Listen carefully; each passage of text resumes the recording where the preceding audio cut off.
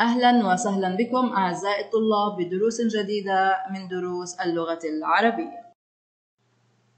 في هذا الأسبوع عزيزي الطالب ستتعرف على آه، الفعل المضارع وإعرابه أيضا تتعرف على التاء المربوطة والها للقراءة عزيزي الطالب فوائد عظيمة حيث تهذب الفرد بما يقرأه من علوم وأداب وتريحه من الإجهاد والإرهاق لا آه، سيما إذا ما قرأ كتب الأدب والروايات. وتنمي مهاراته الكتابية وقدرته على التفكير التحليلي من خلال تحليله للمعلومات وربطها معا.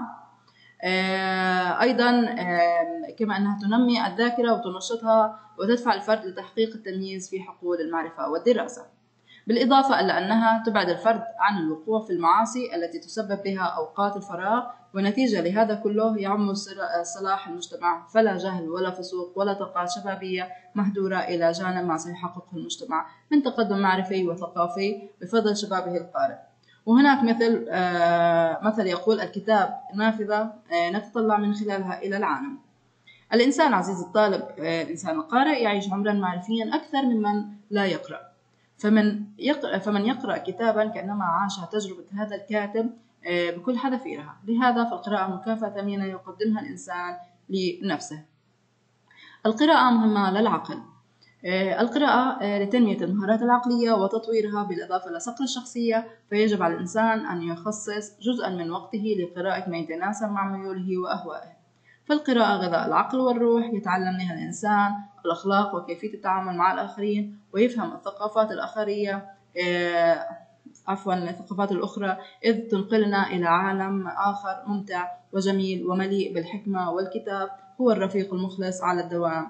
أيضا القراءة تنمي الإبداع القراءة تنمي الإبداع لدى جميع الأفراد وتزيد الوعي حول الكثير من الأمور فهي مصدر العلم والمعرفة فلها أثر عظيم على الأفراد والمجتمعات عن طريق معرفة الحاضر وزيادة القدرة على التخطيط للمستقبل وهي آه، طريقة التعبير عن الإنسان والكون وكل ما فيه من الفعل. المضارع عزيزي الطالب هو الفعل الذي يدل على واقعه أو حدث يجري في الزمن الحالي والمستقبل خلال زمان. آه، المتكلم ويبدأ دائما بأحرفه المضارعة وهي أنا آه، وهي والهو ونحن والتاء آه، أنا في آ ألف وهو والنون في نحن والتاء في هي.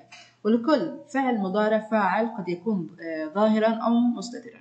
وقد سمي بهذا الاسم لأن الفعل آه، أو يشابه اسم الفعل في الحركة والسكون والوظيفة الإعرابية. والفعل المضارع دائما يكون معربا ولا يأتي مبنيا كالفعل الماضي. والأمر إلا إذا اتصل بنون النسوة أو نون التوكيد الثقيلة. والخفيفة بناء عليه يكون إما معربا مرفوعا أو منصوبا أو مجزوما ولا يأتي مكسورا بالجرة آه، بالجر عفوا أبدا. وتتغير علامة إعرابه تبعا آه، لما يسبقه ومعناه المراد منه. آه، أنواع الفعل المضارع الفعل المضارع المرفوع والفعل المضارع المنصوب والفعل المضارع المجزوم. الفرق بين التاء المفتوحة والتاء المربوطة والهاء. آه، التاء المربوطة هي التاء التي تلفظ تاء متحركة خلال الكلام إذا ما تحركت وتلفظ هاء عند الوقف الساكن. آه، أيضا التاء التي تلفظ تاء سواء خلال الكلام إذا تحركت أو عند الوقف إذا سكنت فلفظها لا يتغير في كلا الحالين. الهاء هي ما يلفظ هاء سواء عند الوقف أم خلال الكلام وهي أيضا جزء يتم إضافته إلى الكلمة وليس من أصله. مواضع التاء المفتوحة في الكلام. تاء التأنيث الساكنة وهي التاء التي تكون علامة تأنيث الفعل المضارع. وذلك على نحو ذهبت قرأت لعبت تقدمت.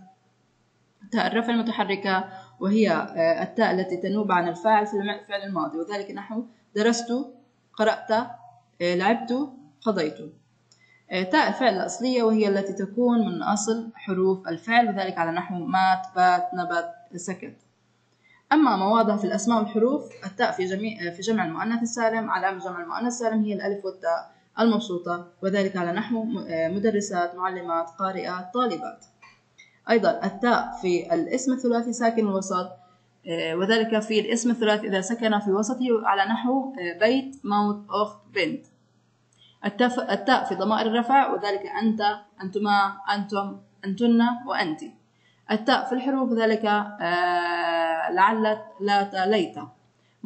مواضع التاء المربوطة لاسم المفرد المؤنث غير الثلاثي والصفة والتاء التي تحدد الواحد في جن من جنس الأشياء وصيغة المبالغة وجمع التكسير.